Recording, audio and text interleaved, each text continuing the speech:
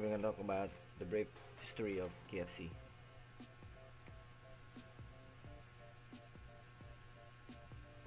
Before we proceed, um, if you have not subscribed to this channel yet, kindly do so by clicking the uh, subscribe button and the uh, notification bell so that you'll be alerted to my next videos.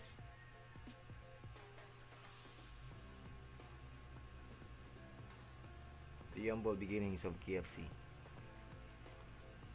But a man who was famous for his fried chicken, Harlan David Sanders or Colonel Sanders began his life far from the kitchen.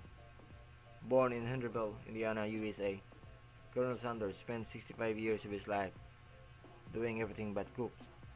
But come 1950, Sanders went on to take the biggest leap of his professional career when he finalized the original recipe of secret herbs and spices to create the Kentucky Fried Chicken that we've come to know and love today. A decade later, Sanders' success in the food business flags all over the United States and Canada with over 600 franchise outlets. And 70 years after, KFC found a home here in the Philippines. Perhaps the first world famous chef, Colonel Sanders proved that pain would go hand in hand with a big heart. The Colonel donated millions to charity, schools, and hospitals. And even before his passing, he says, I never had any desire to be the richest man in the cemetery.